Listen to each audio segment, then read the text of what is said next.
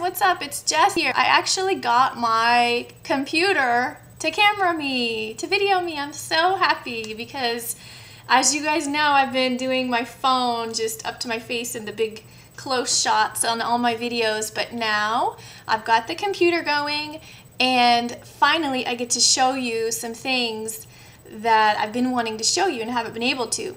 So I wanted to share this quick tip with you guys about YouTube and the videos, um, the URL matching up with the URL in the video manager in your edit area.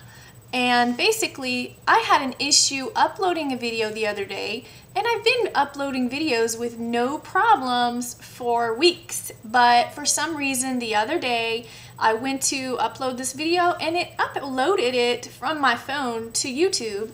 And what I'll usually do after that step, after it uploads to YouTube, I'll copy that URL and put it into my blog platform. And, you know, sometimes it takes it a few minutes before I can actually see the video. This time I didn't see anything. It was an absolute black screen. And so that was my first indication that something was not right. So I said, okay, well, maybe it's just taking a little longer. It's cloudy and maybe the reception isn't, I just didn't know. So I decided to give it a few extra minutes. Well, nothing was happening at all with that video. So unfortunately, I went ahead and I posted that thing everywhere and it never, here it is a few days, like, you know, last week, but it still didn't work. So today I decided to get to the root of the problem and figure out what was going on with my video. It was uploaded to YouTube perfectly, but wouldn't take it wouldn't take that URL at this other platform. So what I did is here's my video. What I did was I went into the video manager button tab right here. Click that. It brings up all your videos. It also has a cool little edit button here that you can do with your videos. So I'm going to click this edit button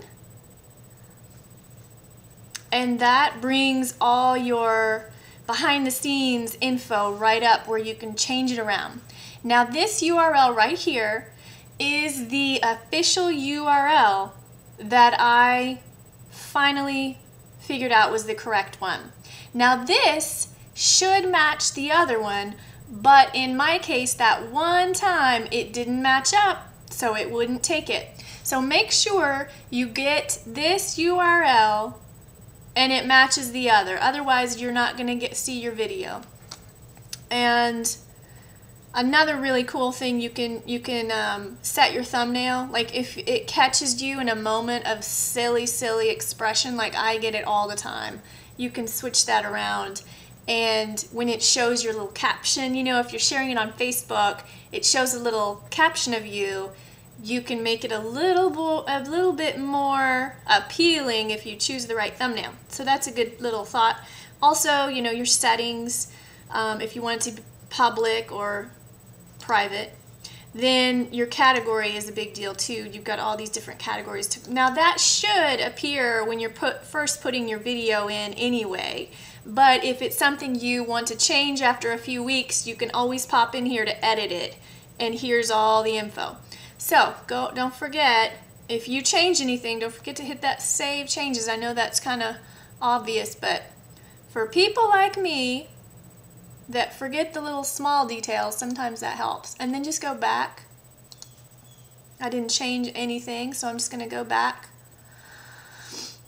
to Video Manager, and it should go ahead and bring up where I was before with all the videos. Yes, here we are. So, I hope that tip has helped you guys. At some point, you never know if something like that will happen. It's going to throw you off and you won't really know how to remedy that.